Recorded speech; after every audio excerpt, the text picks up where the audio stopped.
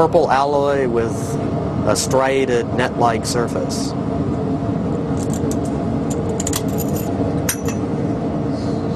Worked perfectly. Newton, like all alchemists, concealed his ingredients in colourful riddles.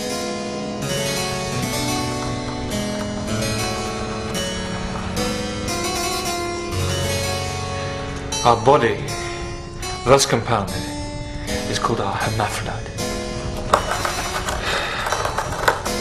Being of two sexes, and it is both father and mother to the stone. Hermaphrodite refers to the Regulus of antimony that you get by combining stibnite with iron at high temperature. Newton uses codes like the green lion, the sordid whore, and the menstrual blood of the sordid whore to describe other metals. So what was Newton keeping concealed? Important clues have been found at King's College, Cambridge, where Newton's manuscripts, bought by the economist Maynard Keynes, are securely kept. Professor Rattansi says Newton's own handwritten copy of an ancient alchemical treatise reveals the secret purpose of his alchemical quest. This is the Tabula Smaragdina. The whole secret of the Philosopher's Stone is supposed to be concealed in this pretty short document. But Professor Rattansi says Newton was seeking the Philosopher's Stone not to become rich by turning metal into gold, but as part of his search for God's secrets. The alchemists believed that this document not only described how God created the universe, it also enabled the alchemist to imitate the work of God. And by imitating the work of God, he could achieve miracles in nature. He's not a magician in the sense that he wants to master these forces so that he can use them to do marvelous things. It's ultimately to understand the mystery of and, and secrets of God's creation. Newton believed God had handed down his secrets to disciples like Noah, and that they survived in fragmented form in scripture, ancient text, myths, and especially in alchemical literature. He never loses faith in alchemy as concealing some of the greatest secrets of the universe, if you could decode them. Newton felt he was specially chosen by God to decode them. He writes his name in Latin, Isaacus Newtonus, and he plays around with the anagram and he turns it into Jehovah Sanctus Unus, one holy God. So there are already signs there of a fairly strong sense in the young Cambridge student that he's odd, that he's special, that he's picked out, that he is, to use the alchemical phrase, an adept someone particularly equipped by the gift of grace, not only to pursue his studies, but to interpret the world. Newton believed that through alchemy he was finding God's secrets.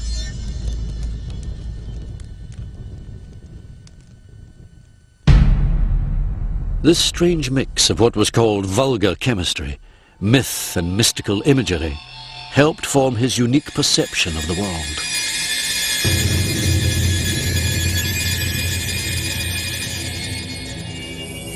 Professor Newman believes one of Newton's basic experiments gave him an insight into the true nature of colour.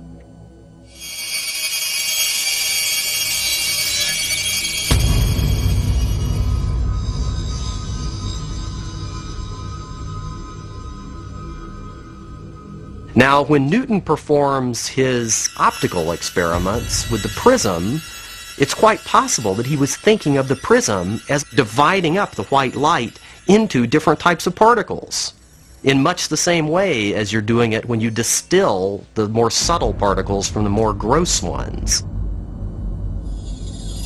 Just when Newton was furtively immersing himself fully in the mysteries of the crucible, his earlier scientific achievements brought him worldly advancement.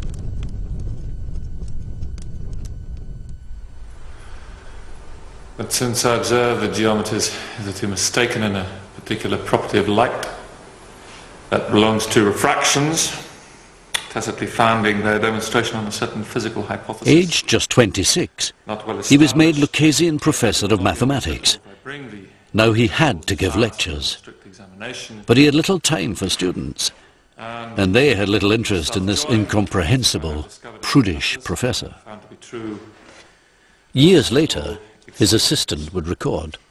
So few went to him, and fewer that understood him, that oftentimes he did, in a manner, for want of hearers, read to the walls. But Newton faced a terrible dilemma the day he had started to climb the academic ladder.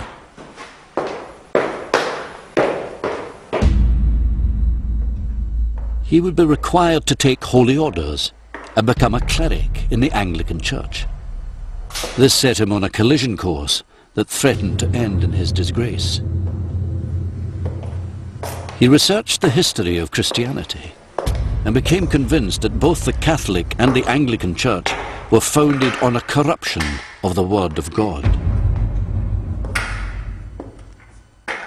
Now, because Newton was so convinced that God is extremely powerful and unique, Newton, as the, as the saying goes, reads himself into heresy. In other words, Newton begins to minimize, to play down, eventually to deny the divinity of Christ.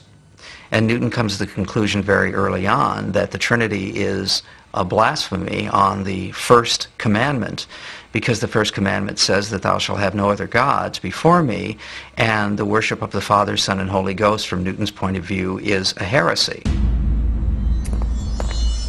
So by the early 1670s, Newton had become a secret heretic. He was convinced the doctrine of the Trinity, to which Henry VIII had dedicated Trinity College, was a form of blasphemy. If Newton had been exposed while he was at Cambridge as an anti-Trinitarian, uh, his career would have been over. He would have been ostracized. It's almost certain that it wouldn't have involved uh, being put to death, but uh, definitely uh, prison would have been uh, one possibility.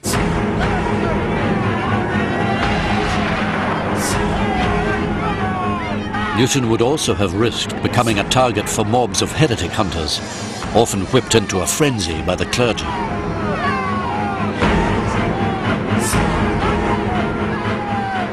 A heretic, like a witch, is a threat, not just to truth, but to you. You know, it's, it's a physical threat. It's going to compromise and corrupt the community. So very often we know, you know from witch hunts that the mob, the people, will take direct action against these sorts of individuals. People are lynched. People are kicked to death. They're burned.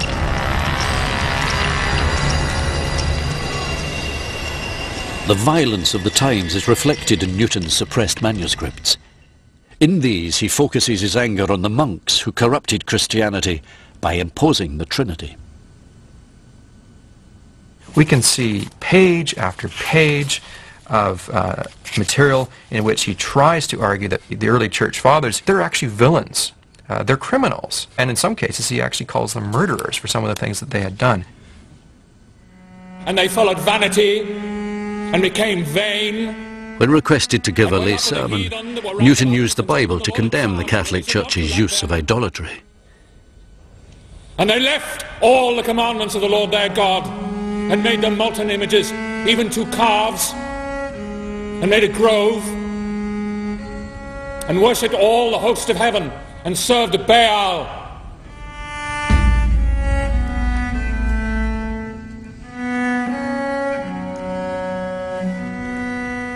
In the privacy of his rooms, Newton rejoiced in the torture of nuns he reads about in an ancient history book.